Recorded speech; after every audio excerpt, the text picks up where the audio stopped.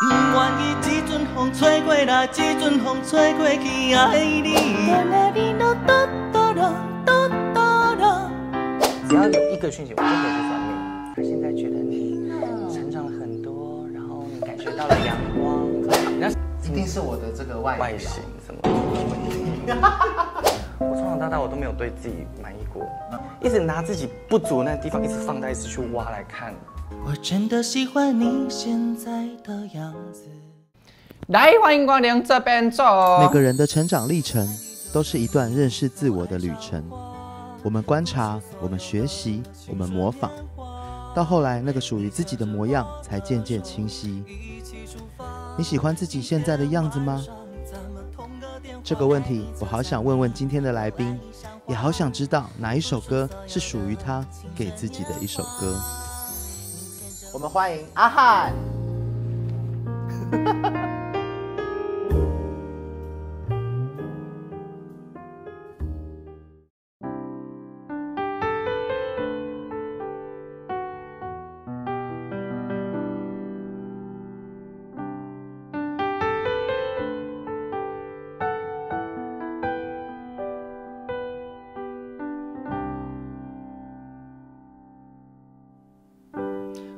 是喜欢你现在的样子，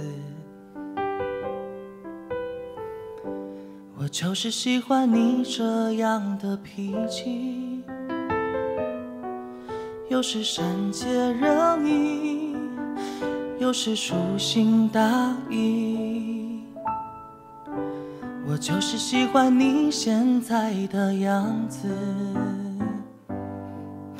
不要轻尝试任何改变，改变你现在所有的一切，以为我能再多爱你一些。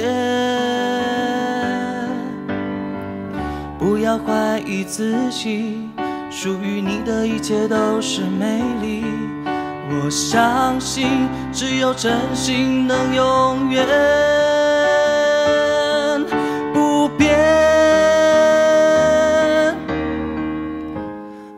我真的喜欢你现在的样子，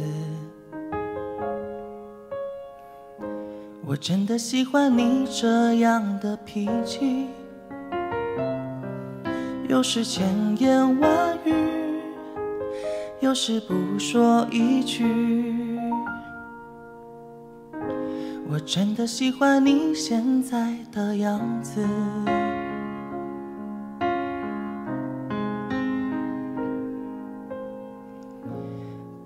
随便改变你现在的样子。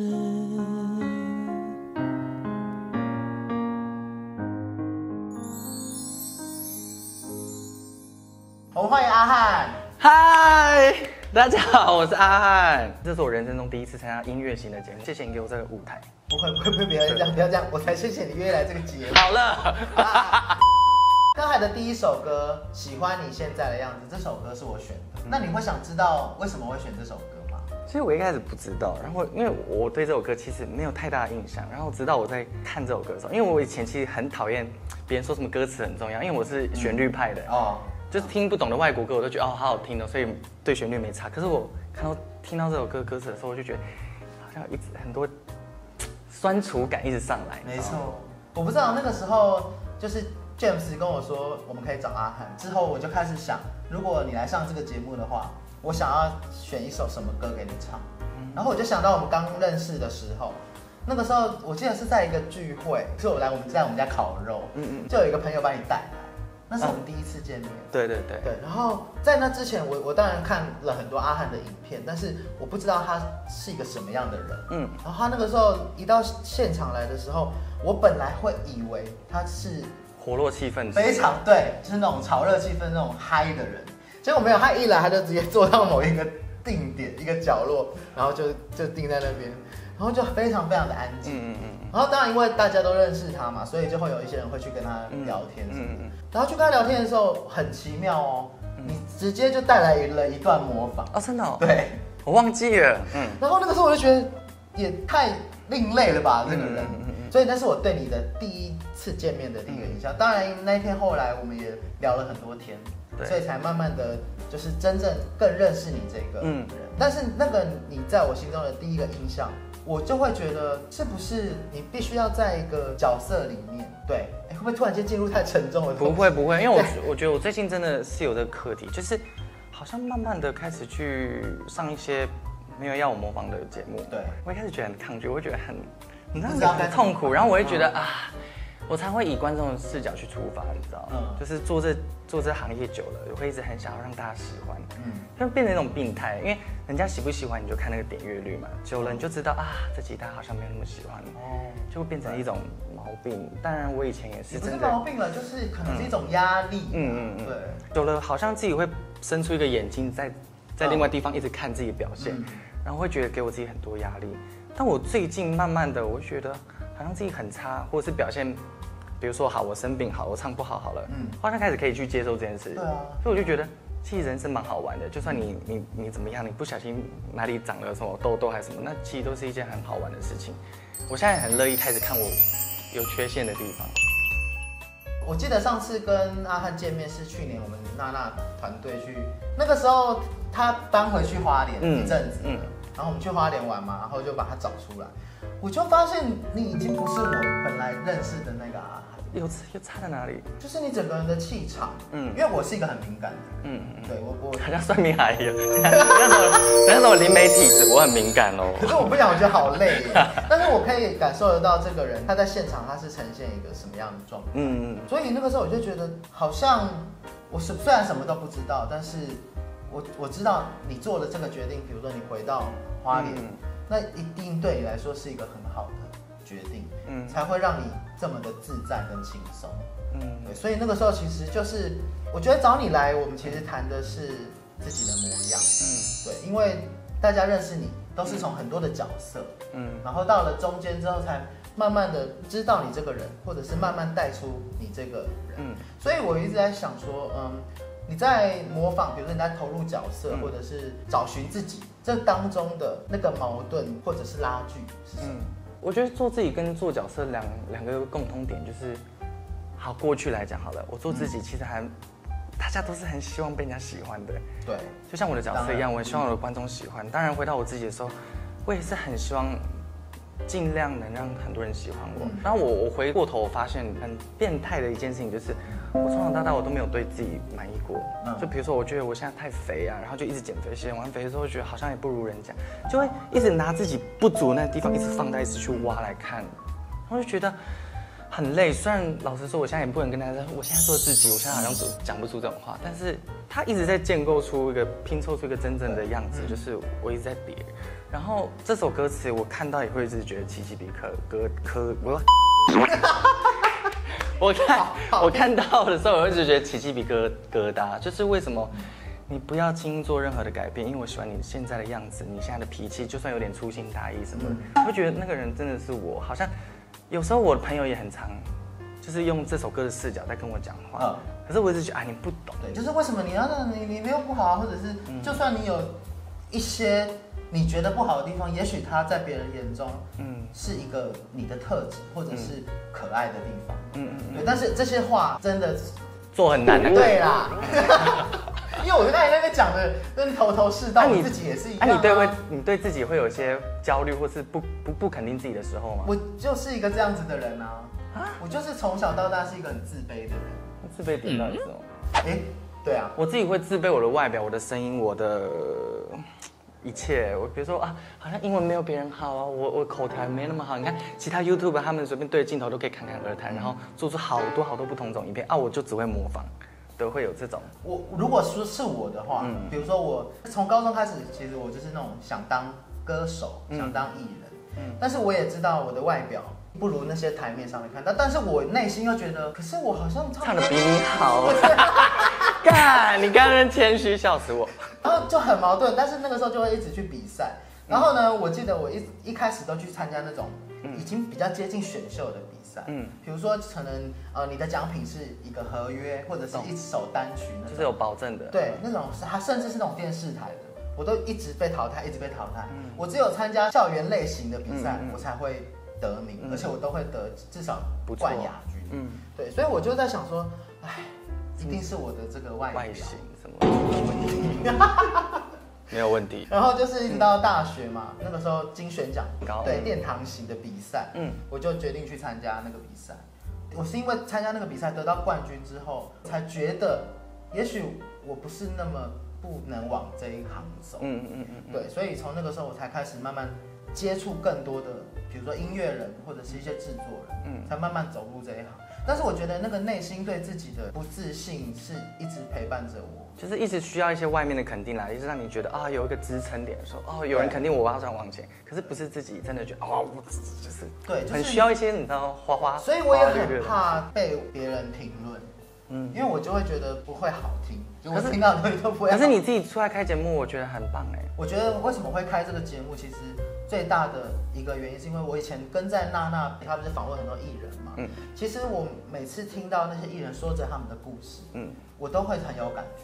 嗯。尤其是他访问的可能都不是新人，都是已经经历过高潮低潮的我超爱这种，嗯。对的艺人，然后你就可以知道哦，他曾经经历过什么，但是他现在还可以坐在这里嗯嗯跟你侃侃而谈，我就会觉得这些东西带给我很大的力量。嗯嗯嗯那我是不是可以从另外一个角度，然后用一首歌的方式，或用音乐的方式去听到来宾的生命嗯故事？懂那个时候你来我们家参加那个聚会的时嗯候，我就听到你一直在跟人家讨论算命的哦事情。靠，真的，嗯我记得，我超记得你还记不记得我有送你一个东西？日本的，哎是什么对东，西？日本跟日本有关的。玉手、不是，好烂，它类似玉手的角色，金刚杵，不是。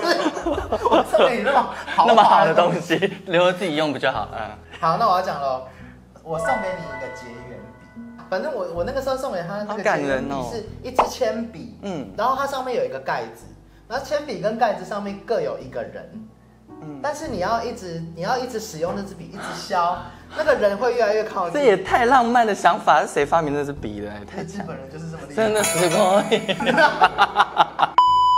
我那时候就是喜欢一个人，然后喜欢，然后有曾经蛮甜蜜过，然后之后他把我甩开之后，我就觉得，哎，是不是我哪里做错了？所以呢，我在那个时期，我非常的努力，想要跟他保持一个很好的关系。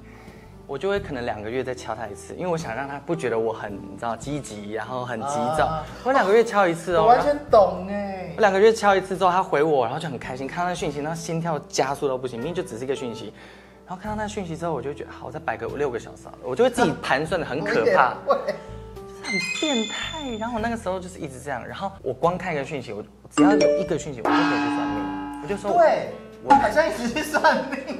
我到底要怎么回？因为呢，我曾经就是有相信一些东方的命理，我就觉得很讨厌，我就觉得那些都是写好的啊，然后讲一些术语什么狗屁的，所以我直接玩通灵，他就通灵，我就觉得哇，他会附身，他会变成他的灵魂，然后跟我说，哦，他现在觉得你成长了很多，然后你感觉到了阳光，你知道，人家邪教，老实说。那时候就觉得我好喜欢听到这些哦，因为嗯有一个外在的肯定，然后有人在保护着你说，哦，你现在走的是对的路哦。所以你会想听到的是肯定。对，人家跟我说哦，你没机会了，我就说啊，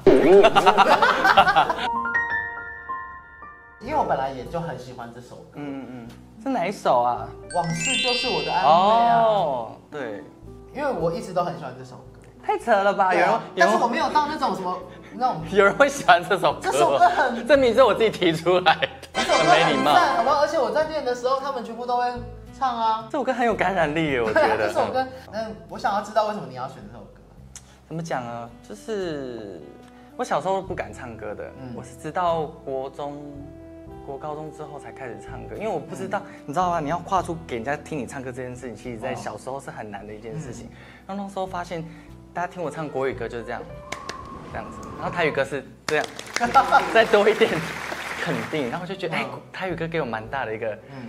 鼓励感，然后再加上我小时候的时候，我去那个婚礼啊，你知道那些驻唱歌手，他们抖音都超多。啊啊。啊，我想说那怎到底要怎么练那个抖音呢、所以你其实小时候就已经常常在观察跟模仿。但我我生长在一个很很台的家庭，小时候啊，啊然后就跟我阿公还种木瓜，然后有时候听那个，你知道我听很多台语歌，什么。嗯心那的紧紧搁起头哎那首很赞啊这也是他的歌。然后还有那个，他叫什么名字啊陈？雷啦，我知道陈雷，但是那个张秀清。张秀清，秀你是我最坚强温暖的骆驼上。这首歌很冷门了，你知道吗？满面春风。当然知道这首没有冷门，真的吗？我现在再也都听不到了。了这首歌我就觉得那些姑姑都在唱，好好对，听哎。所以我就觉得啊，其实再也不会有人啊，我我我要讲一个好了，我就是一个贵古见今的人。把以前看得很重要，然后把现在看得很重要。我其实对我来说，二零一零以后的歌我都不太爱了。老实说，我会很喜欢挖以前的事情。其实我小，我连我国小我就有这个习惯，我也我会挖九零年代的歌来听。啊可是我现在我会挖两千年代的歌来听。所以我那时候听到那个娜娜大师就是做那样的节目的时候，我就觉得天呐，你你都没有在管观众哦，因为我会觉得啊，这样这种节目怎么会有人看？可是我发现我就是会看，因为啊我会觉得那些歌手留下这么多很好的东西，可是他为什么好像只要改给曹焕刀，那些人就不应该存在了？对，我会很难过，尤其是什么 Y two K，按、你中间这个，比如说两千年到两二零二零年，中间有二十年，啊，中间 Y two K 只要一消失，中间这一些大家不觉得它好看了吗？为什么 为什么到二零二三、二零二四大家才觉得它好看？应该是说大家的口味在变，嗯嗯，然后世界的潮流也在变，对但是我们我跟不上，没有人跟得上啊。嗯有啊，你有跟上啊，有吗？什么时候？有跟上 YouTube 啊，啊、yeah,，Thank you。所以那也是另外一种跟上。嗯所以我我觉得这个节目也是让我找到另外一个方式去、嗯去在这个世代找出自己的定位，嗯嗯真的可是还在摸索啦懂懂懂对啊，嗯嗯，好，那我们接下来就来听他为我们带来这一首《就是我的安慰》。往事就是我的安慰。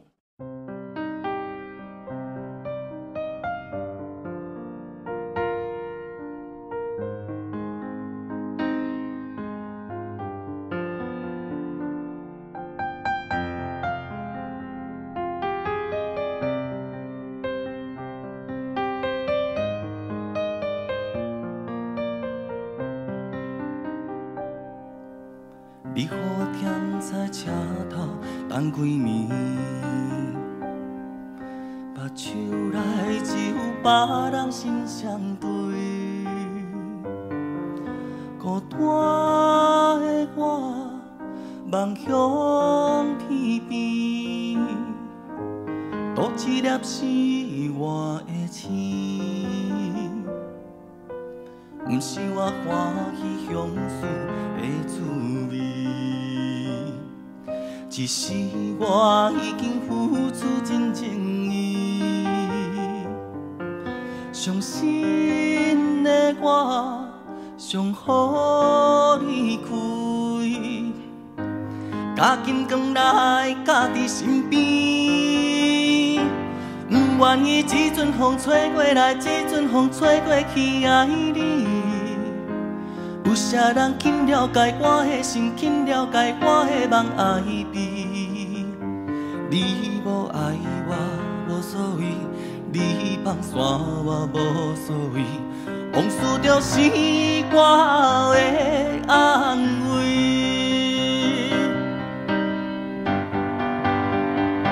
不愿意一阵风吹过来，一阵风吹过去，爱你。有啥人肯了解我的心，肯了解我的梦爱悲？你无爱我无所谓，你放散我无所谓，往事就是我的安慰，往事就是我的安慰。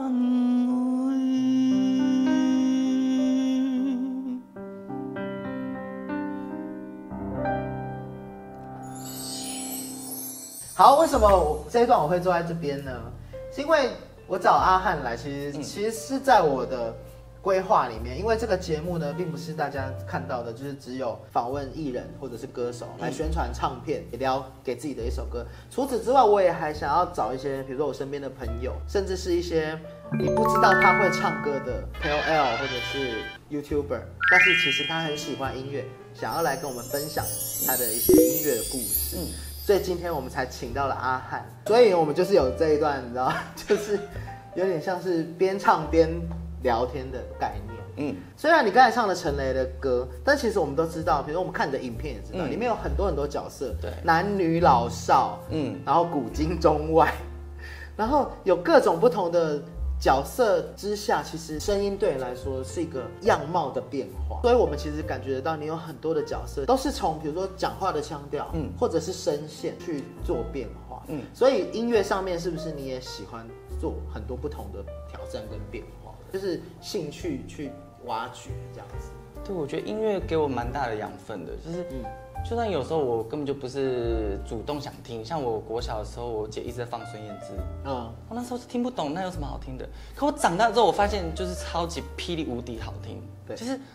我会一直去挖以前的东西来听，然后我会去感受那个时代的氛围是什么。哦，有时候根本就不用说什么，那个音乐一下就，噔噔噔噔噔噔噔噔噔噔噔，就是有那个感觉就回来了。然后我就是一个很容易因为这首歌就不是现在了，我就很容易难过。我就是会一直难过的这种。所以我有时候看娜娜大师的影片久，我就好悲伤。他们那些人就已经不是正在活跃了。我很奇怪，就以物为什么悲，你知道，就是很伤心。然后我就会。我为了逃避这个，我就去听一下 K-pop，因为就很流行。嗯，是哦。对，我会 用这来沉浸在那个里面。我会觉得太痛苦了，就说我想回到那个时代，可是我又回不去，那我就来听一下现在流行什么。哦，好爽，好爽。我我 就是我有在跟着时代走，但是其实我真正喜欢的是那些很旧的东西。嗯，它其实之所以会成为我们的回忆部分，也就是我们。活到这个年纪，我们独有的，因为未来的小朋友，也许所谓的 K-pop 就是他童年的回忆，就是很旧。到时候等他三三十几岁、四十岁，他说不定流行的又是另外一种。嗯嗯。所以我觉得我们拥有过这些回忆，或者是我们的生命当中拥有这些东西，其实很足够了啦。嗯，对啊。所以我们刚才唱了陈雷的歌，我们 现在直接，哎，你笑什么？陈雷有在看哦。不是，我 dislike。啊，迪斯耐克，迪斯耐克，对，我们现在来一个反差的，好，我们要结场啊。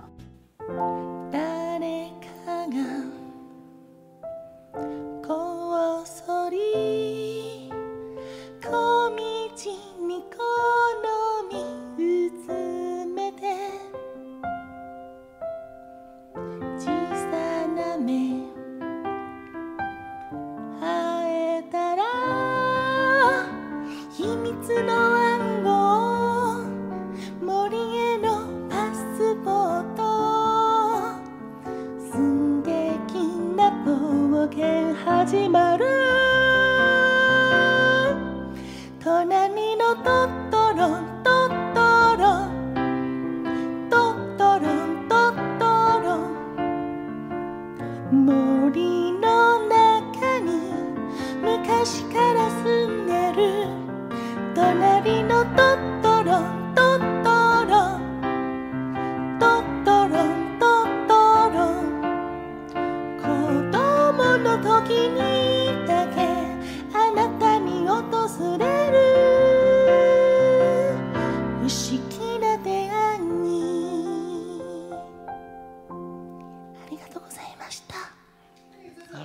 直接唱啊。好，我们今天再次谢谢阿汉来给自己的一首歌这个单元。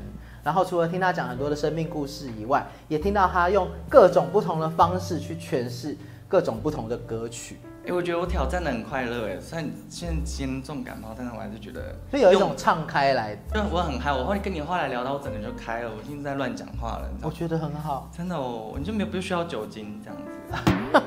对，因为他刚才一开始还想要，本来还想喝点酒，就很紧张，但是喉咙不舒服就算了。我要我做个结我自己的结语，就是我一开始我觉得我感冒，我应该要请假，我觉得我自己不好，然后就不要来，然后跟你在约时间。但是我觉得他是某种程度在鼓励我不同面向的自己，就像我今天来，我今天重感冒，我还是一样可以玩的很快乐，就像是我们每个人都一样可以勇敢的面对这最真实的状态，然后接受自己。对啊，即使你在当下你不觉得自己在一个好的状态，但是我觉得在那个状态下面，你还是可以试着去享受它，去感受它。嗯，好，我们再次谢谢阿汉今天来到，谢谢大家，自己的一首歌，谢谢，烂死夜总会，好想历经哦，好了，谢谢谢谢，结尾再好想，Hello，Hello，三人这班手工薯条超级好吃。大家好，我是来自越南胡志明市的阮月娇。真棒，真棒，太阳口，太阳口。追你就是阿你你知道我是谁吗？结果是董事长。我叫可荣，刚到单位，对很多事情还不熟悉，那就再请大家多多指教喽。阿姨很漂亮哦。恭请九天仙女驾到，八百英尺，五百英尺，降落，降落。属于你的一切都是美丽，我相信只有真心能永远不变。我真的喜欢你现在的样子，我真的喜欢你这样的脾气。我其实以前的时候，在国中部有被同学欺负，我那时候真的超生气的。那我真的希望你们知道，你们真的活下来，真的没有对不起谁。你们永远永远都是最棒的。我希望你们可以做真正的自己。不要随便改你现在的样子。